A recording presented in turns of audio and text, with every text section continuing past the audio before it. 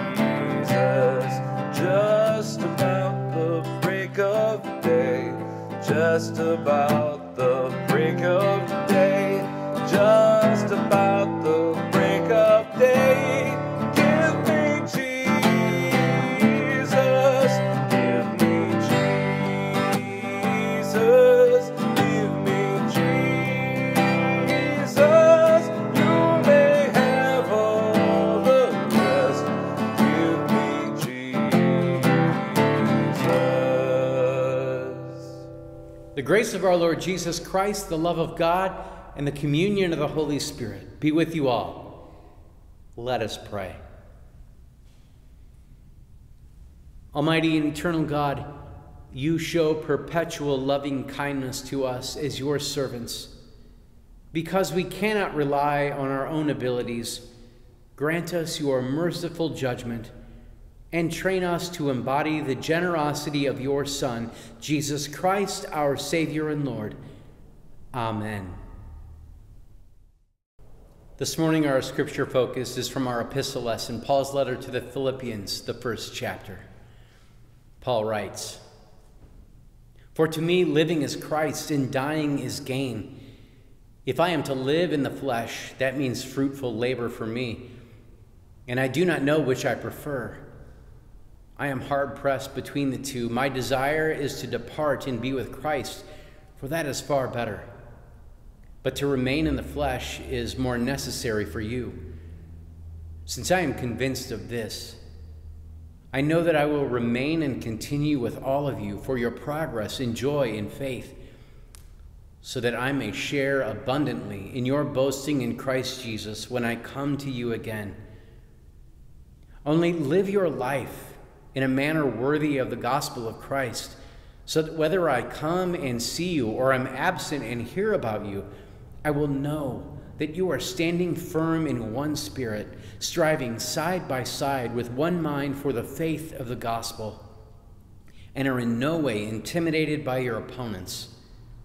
For them, this is evidence of their destruction, but of your salvation. And this is God's doing. For he has graciously granted you the privilege not only of believing in Christ, but of suffering for him as well since you are having the same struggle that you saw I had, and now hear that I still have. Word of God, word of life. Thanks be to God. Grace and peace to you from God our Father and our Lord Jesus Christ. Amen. I want to begin with a question this week, as I often do. It's a very simple and short question, but I'd like you to take time and think about it. What brings you joy?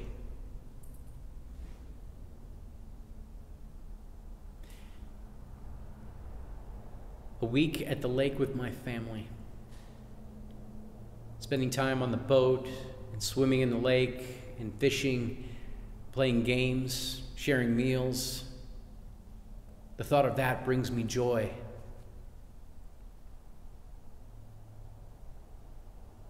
anticipating the holidays, Thanksgiving, and Christmas, around traditions and tables. The thought of that brings me joy. Remembering family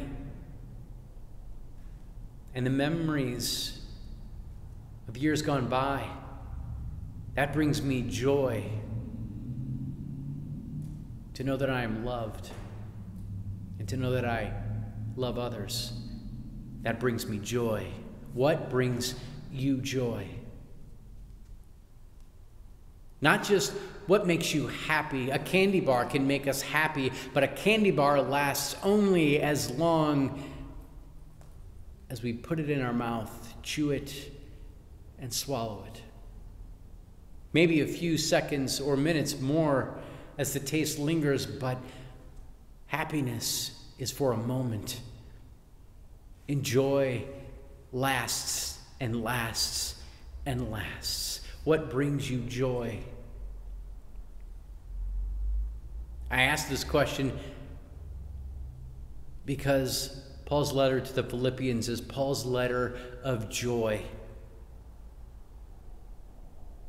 Paul writes to them and in those sentences, in those paragraphs that he writes, in those four short chapters that we know as Philippians, Paul uses the word joy or rejoice no less than 14 times. It is full of joy, and that's ironic because Paul is writing this letter from prison. Paul is in chains at the time that he writes this letter. He could be facing death. He knows not whether he will leave that prison walking out or if he will live at the hand of the executioner. And yet, Paul is full of joy. And he writes to a community which is being persecuted because they worship someone other than the emperor of Rome. Paul rejoices because he shares the knowledge of Christ with them. He knows the joy in that, and they now know the joy in that, and they go on to share that with others. This letter is full of joy, and it's everlasting, and it's bigger than something than the world can give to Paul or them or even us. You see, the joy Paul had and the joy that Paul refers to and encourages the church at Philippi with is based on one thing. One thing. Paul knows that the truest joy of a Christian is knowing Jesus and making Jesus known. To know Jesus and to make Jesus known. That is what being a Christian is all about. That's it. Nothing more. We are to center our lives around Jesus Christ and to live in a way that makes Christ known. Paul writes this in one particular sentence that we have today, in one verse that we have today, to that community of faith. Paul writes to them in verse 27 only live your life.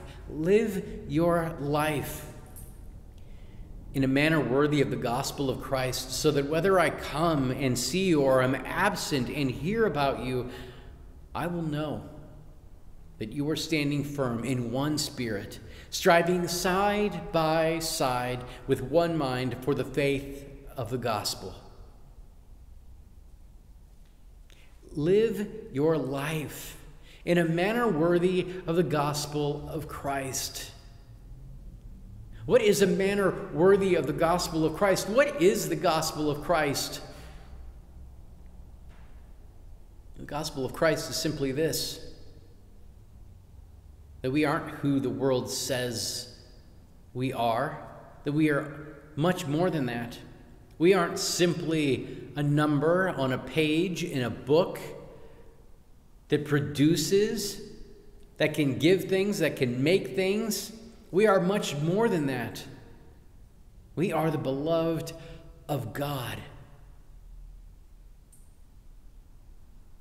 We are the ones who God creates for relationships. You see, joy is much more than the stuff. I believe the joy that we have involves stuff.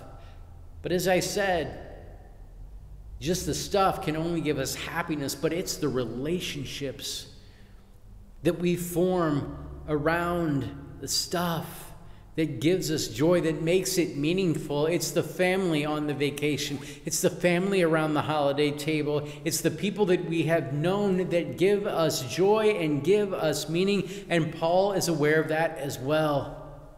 Paul has gone, it was one of the first communities to the church at Philippi to make Christ known.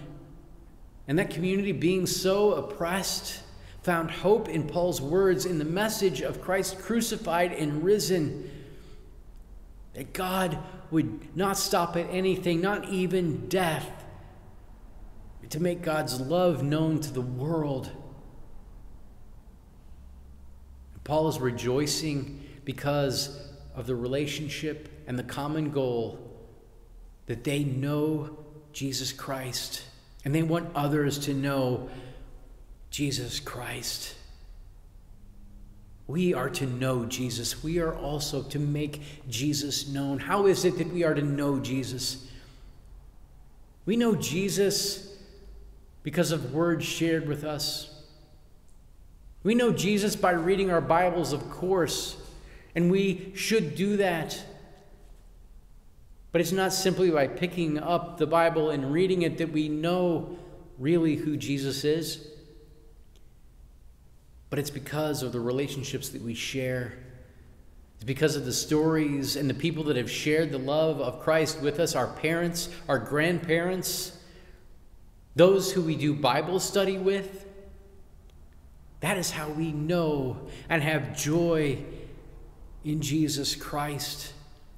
That we would come together, that we would study Scripture, that we would talk with others, that we would share it with others, that we would share our struggles as we face them in life, and that we would hear the struggles of others and be able to identify and empathize with them, being reminded and reminding one another of the love Christ has for us.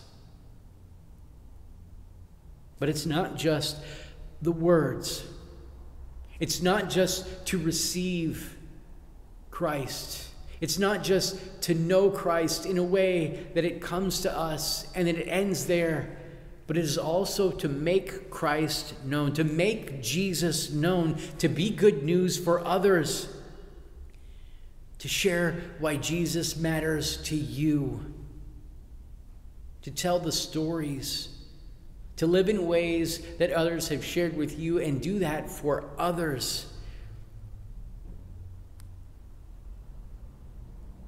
to be a shoulder to cry on for someone who's going through a hard time, to simply listen and be an ear for someone who needs desperately to explain what is happening to them, to get it off their chest, to give them food and share a meal when they have none, to feed the hungry, to clothe the poor, to heal the lame and cure the sick, and to welcome those who are not often welcome.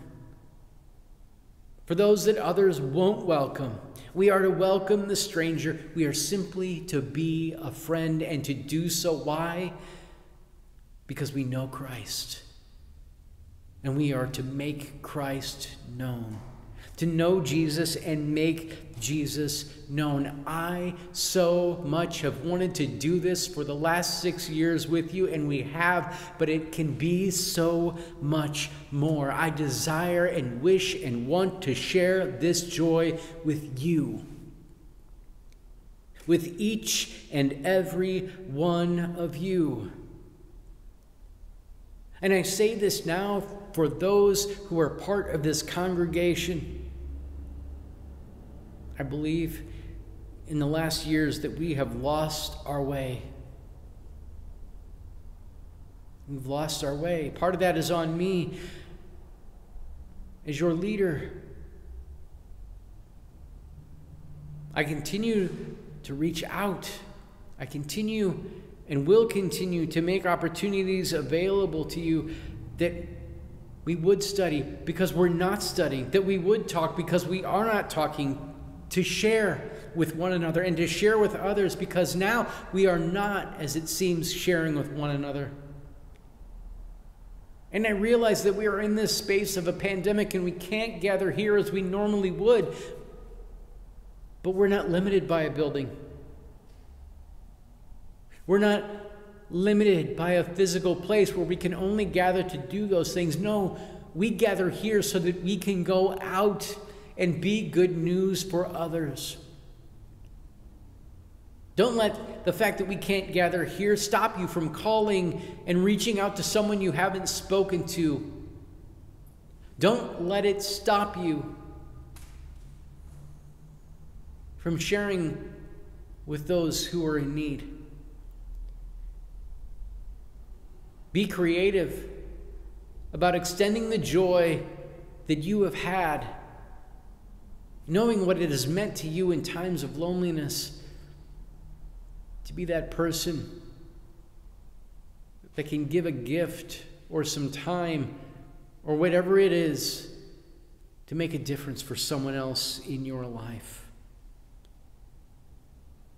I so desperately want to do the Christian life with you I want to know Christ and make Christ known with you. I want to be good news with you for this community, for not just us, but for others.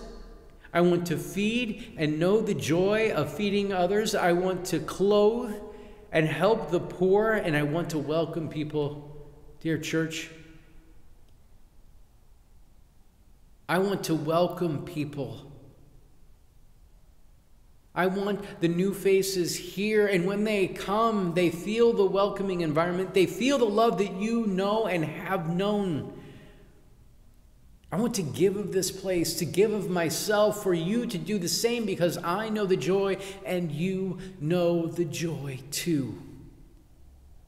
It brings life. It will bring life. I want so desperately to find our way again and experience the joy that I know, and for you to experience the joy that you know as well. I want to experience and know that we are standing firm, as Paul says, in one spirit. I want to strive side by side with each and every one of you in one mind for the faith of the gospel Paul writes that too. I want to do these things, not on my own. I want to do them with you. I want to be church with you. I want to know Christ and make Christ known with you. Amen.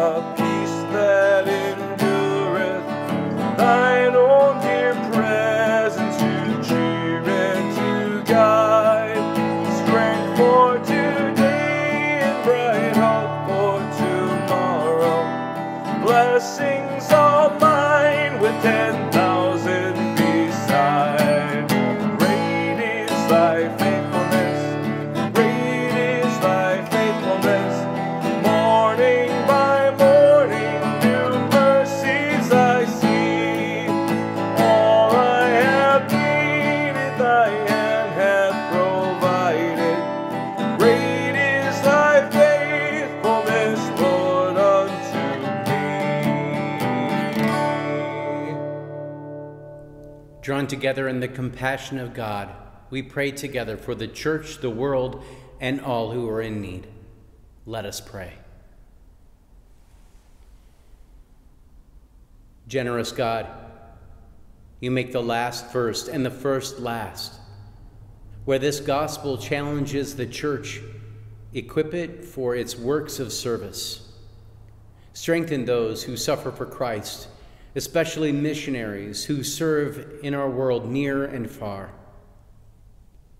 Creator God, sun and wind, bushes and worms, cattle and great cities, nothing in creation is outside your concern. In your mercy, tend to it all. Give us a spirit of generosity toward all you have made and we pray especially for those who are being affected by the wildfires in California and those affected by Hurricane Sally in the Gulf Coast. Reveal yourself to all in need as you are gracious and merciful, slow to anger, abounding in steadfast love, ready to relent from punishing. Accompany judges and lawyers, victims of crimes, and those serving sentences. Give fruitful labor and a livelihood to those who are seeking work. Even beyond our expectations, you choose to give generously.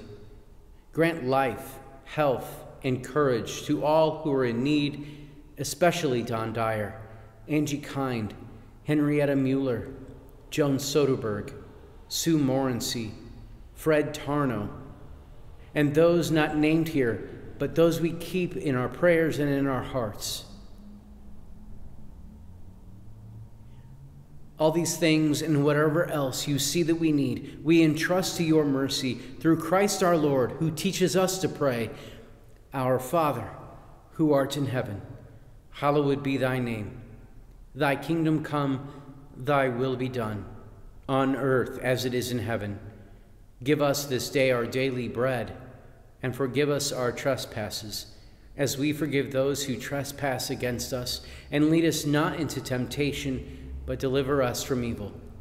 For thine is the kingdom, and the power, and the glory, forever and ever. Amen. The peace of the Lord be with you always. We give thanks to you for your continued generosity, that God continues to work through you and that which you continue to give. We thank you that you continue to mail in your offerings, to use your bank's online bill pay function, and also simply giving. And also those of you who are giving through our website at myhtlc.org forward slash online dash giving. We thank you that you not only are so generous to this ministry at this time, but also that you continue to support the countless other ministries here locally in Glenview and also those uh, throughout the country and the world doing work to show God's love and grace to those who are in need.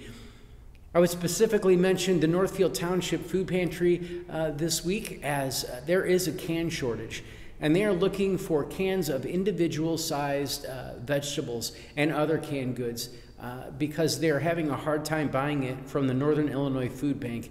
So if you are able and willing, please uh, drop off uh, any canned goods that you can at the uh, food pantry or uh, just let us know here by giving us a call at the church and we'll make sure that we get it over there to, to them that need it.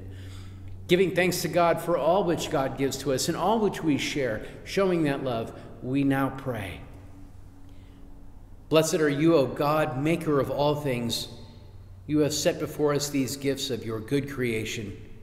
Prepare us for your heavenly banquet. Nourish us with this rich food and drink, and send us forth to set tables in the midst of a suffering world through the bread of life, Jesus Christ, our Savior and Lord. Amen. Now may the Lord bless you and keep you. May the Lord make his face to shine upon you with grace and mercy. May the Lord look upon you with favor and give you peace. In the name of the Father, and of the Son, and of the Holy Spirit. Amen. We are so glad that you have chosen to join us once again for this time of worship and pray that you have found it meaningful. And ask that if you have found it meaningful, that you would share it.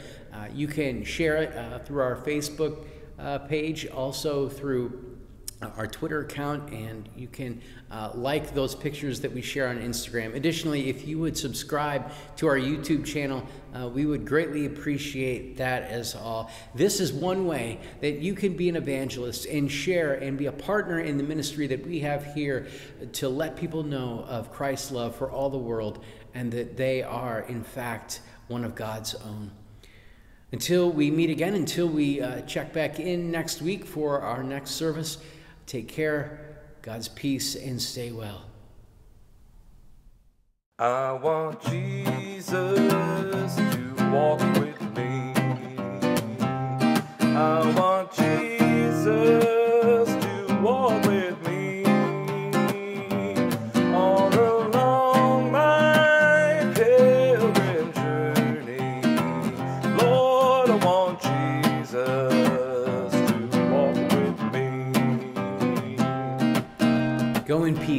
remember the poor.